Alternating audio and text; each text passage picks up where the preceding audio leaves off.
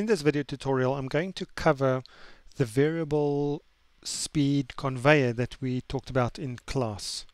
We're going to jump right in and create a new model and I'm going to call it variable conveyor speed.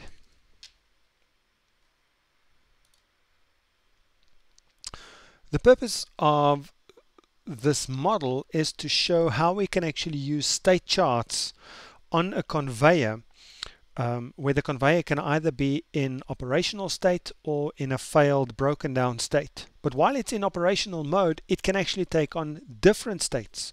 It can either be stationary or in um, a state that we're going to call acceleration, or it can be running at full speed, or if people have not accessed it for or approached it for a certain period of time, it will start decelerating until it uh, actually stops again. So that's the logic that we actually want to, to build in. Uh, before we add the process blocks, I'm going to start with the state chart itself. I'm going to my palette called state charts and I will just add an initial state which I will call ST operational. And I use the prefix ST for all my different states that I'm going to add. I'm just going to move it here to the top and I'm going to give it enough space and you'll probably see a bit later why because I'll add all the internal states as well. Any state chart, to actually give it a name and say this is my state chart, I need to have a global entry point. I'm going to drag that just to the top and I'm going to call this ST conveyor. So this will be the state chart that talks about and refers to my conveyor. The arrow with the black bar at the top says globally when I start the model this will be the the the state in which the state chart will actually find itself. So initially we assume that the state of our conveyor will be operational. Inside the operational state we're going to add a number of different states.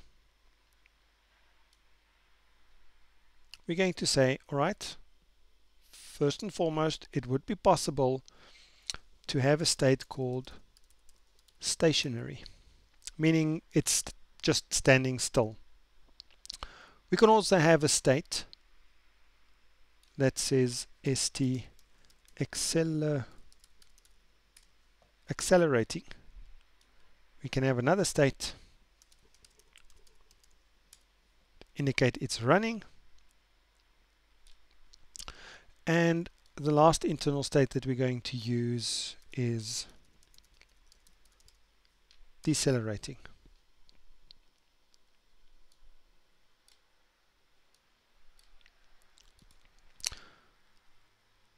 All right.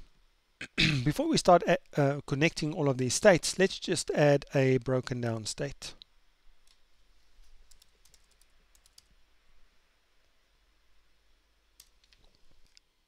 It may be valuable at this point to add a few variables and parameters. I'm going to add a variable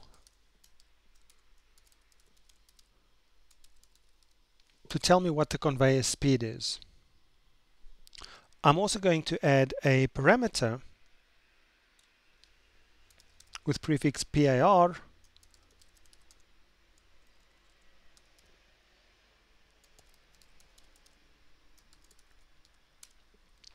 to indicate what the maximum conveyor speed is allowed to be. And this will influence uh, up to what point do I accelerate, uh, at what speed am I actually running, um, but the, the and that will be a set parameter. The variable conveyor speed will indicate what is the current speed at which the conveyor is running or at which I want the conveyor to actually run. At this point, I'm just going to add the variable. I'll refer to it again a little bit later. I'm going to add a variable called approaching conveyor which is kind of a utility variable that I will call and use to just indicate whether anybody is actually on their way to the conveyor and this will kind of be the sensor that the conveyor looks at for guidance to actually say all right are there any people coming is it long enough? Can I actually start decelerating? If my conveyor is operational, it can actually break down. If I go back to my state chart, I'm going to add a transition from the operational state to my broken down state. The transition, I use a prefix tr, and I'm going to call the transition breakdown. In this particular case, I want the transition to occur at a specific um, rate, and the rate is 1 divided by 10, sorry, not 10 seconds, 10 minutes. So it'll be follow an exponential distribution with a lambda parameter, um, kind of a, a, mean time to failure of, of 10 minutes. That will be the rate. I actually want to show the names of my transitions so that I know what I'm referring to. And when it enters this state called broken down, on the entry action, I actually wanted to set the variable conveyor speed to zero. So I start typing control space and I wanted to set the conveyor speed to zero. The initial value we can actually set to zero as well. The maximum conveyor speed I'm just going to set to 10 units and initially there won't be anybody approaching the conveyor. Initially that variable should also be zero. Right. For sake of simplicity, I'm just going to add a transition back to uh, the operational state. So from a broken down state, that will be a timeout to actually say every 10 seconds, that is roughly how long the breakdown actually take and after 10 seconds it will move from a broken down state back into an operational state. So although we haven't connected any of the internal states, at least we know how to move between operational and breakdown. Now let's start adding the state transitions inside.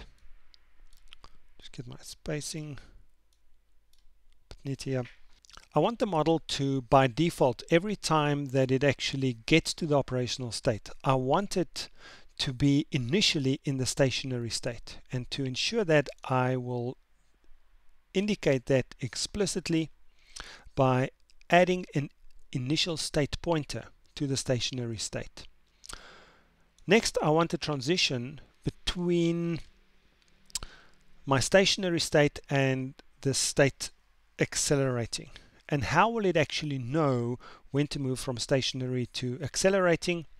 There's a particular condition that I want to actually check and that will be that if anybody is approaching so if my variable approaching conveyor is greater than zero if anybody is approaching and I do find myself in a stationary state then I should move to state acceleration next I need to accelerate until I get to the correct speed. And after I get to the correct speed, and I'll address the how do I get to uh, the correct speed just now, um, just now, I want the transition to actually then move me to a state called running, kind of running at full speed.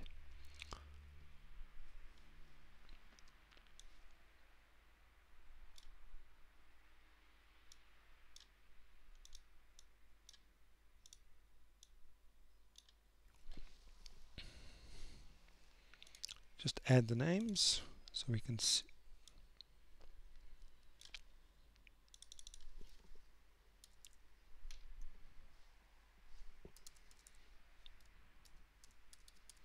I'm going to call that transition starting. And this transition I'm going to call stop. Stop accelerating. And it too should check for a condition that actually says if the variable conveyor speed is greater than or equal to, and it should typically only be equal to the parameter max speed. So it'll keep on accelerating until the variable's conveyor speed exceeds or is equal to the maximum running speed. And then my conveyor is up and running. At some point I actually want it to start decelerating. And for this purposes I'm going to introduce one variable and one parameter.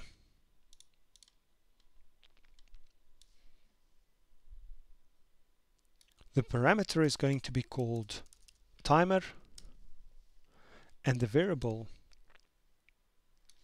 is also going to be called timer. But they've got different prefixes. Variable has got a var prefix and parameter has got a par prefix. The default value of the parameter timer is set to 30 meaning at this point that if the conveyor runs for 30 seconds without seeing anybody approaching, it should start decelerating. That's the intent, that's what I'm after. So this parameter just specifies that threshold. The variable timer is the, the timer which has an initial value of zero and I will later on work with this timer value to actually say, all right, but how long have you actually um, been seeing nobody approaching the conveyor. Back to the state chart, I want to add a transition from running to decelerating. I'm going to call that transition start decelerating and it too will run or be triggered by a condition and the condition is that if my timer value the, the variable if that is greater than or equal to the parameter timer then it should move from state running to state decelerating. Show the name.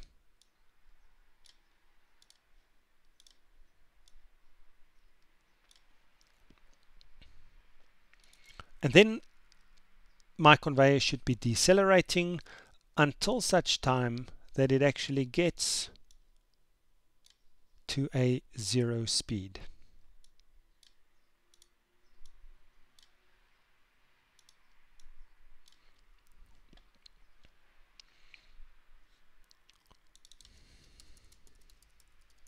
Call that transition stopping.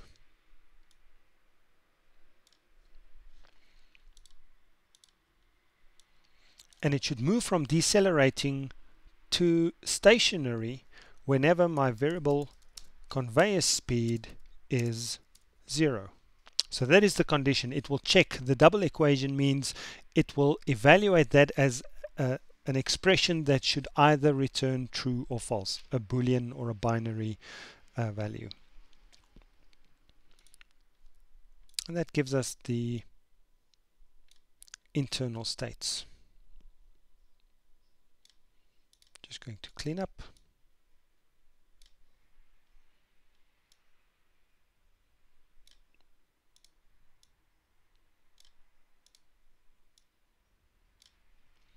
Right, that looks a bit neater.